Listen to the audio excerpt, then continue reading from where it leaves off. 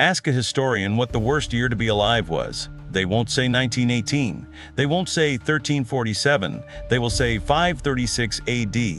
In that year, a mysterious fog rolled across the world and blocked out the sun for 18 months. It was the year the light died. The Roman historian Procopius wrote, The sun gave forth its light without brightness, like the moon. Shadows disappeared. The sun turned a sickly blue color, and even at noon, you could barely see your hand in front of your face. For a year and a half, there was no dawn. Without the sun, the temperature crashed. It snowed in China during the summer. In Mesopotamia, crops froze in the fields. The seasons broke. It became a literal volcanic winter, turning the earth into a refrigerator. No sun meant no photosynthesis. Wheat died, grapes shriveled, bread vanished.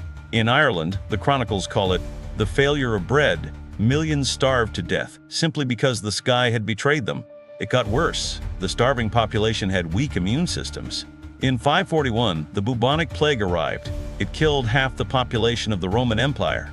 Bodies were stacked in towers because they ran out of graves. It was the apocalypse in slow motion. For centuries, no one knew why it happened.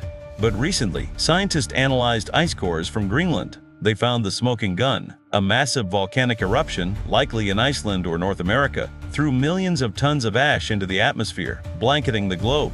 This event changed history. It weakened the Roman Empire enough to cause its collapse. It triggered migrations, wars, and chaos. Historians mark this moment as the true beginning of the Dark Ages.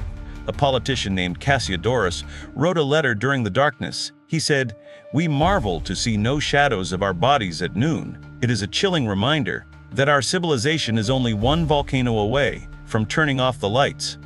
The sun always comes back, but not for everyone. If you want to survive the dark ages of history, subscribe. We are lighting the torches.